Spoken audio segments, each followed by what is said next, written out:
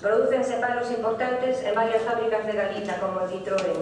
Convóscase folga xeral en Galicia e celebrase unha manifestación na Porta do Sol de Vigo na que participan milleiros de traballadores e traballadoras de todos os sectores.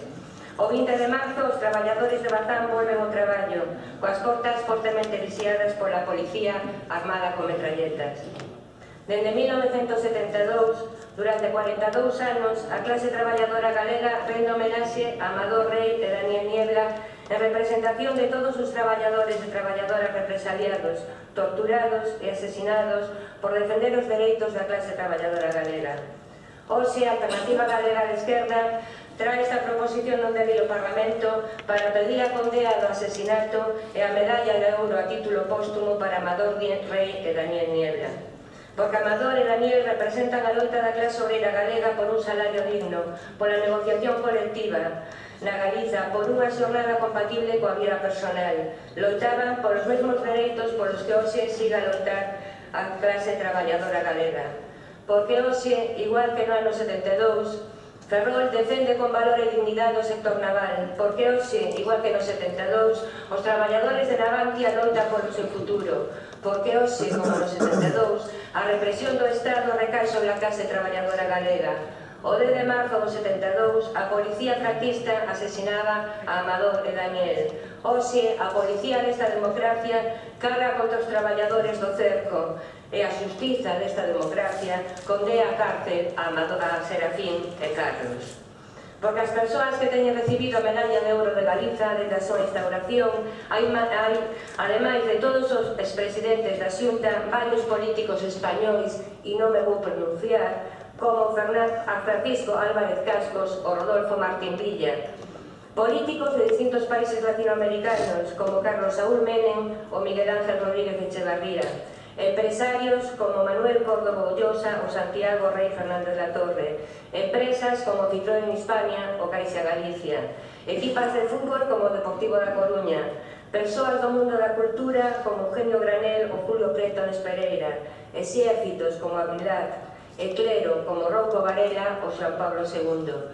Pero non hai ningún traballador ou traballadora. Nunca se concedeu a medalla de ouro de Galiza a persoas cuxo mérito sea a súa loita en defensa dos dereitos da clase traballadora galega.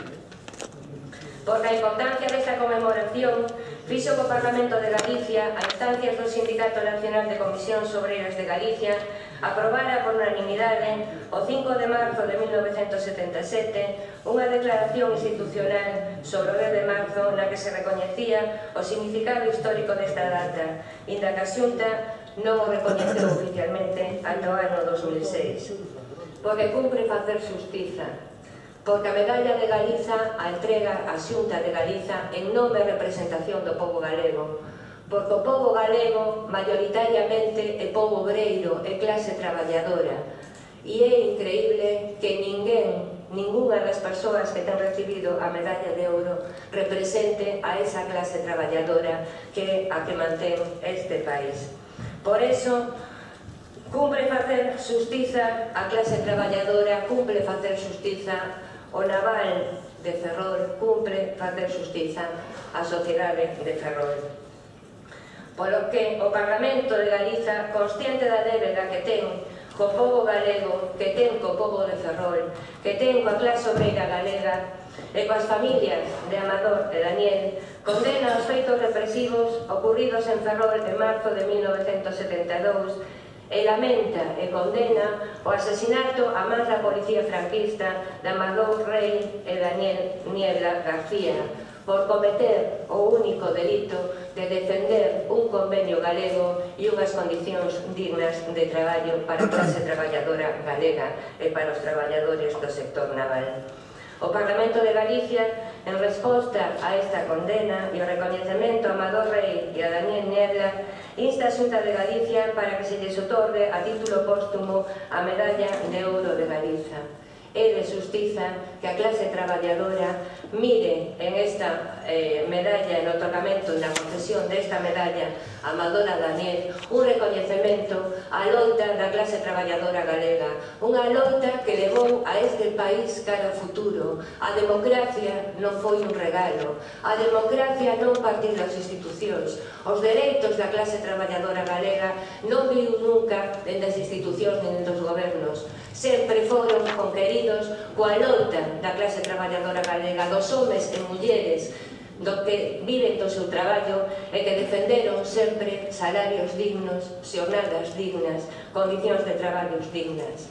Porque hoxe Ferrol vive un dos peores momentos da súa historia.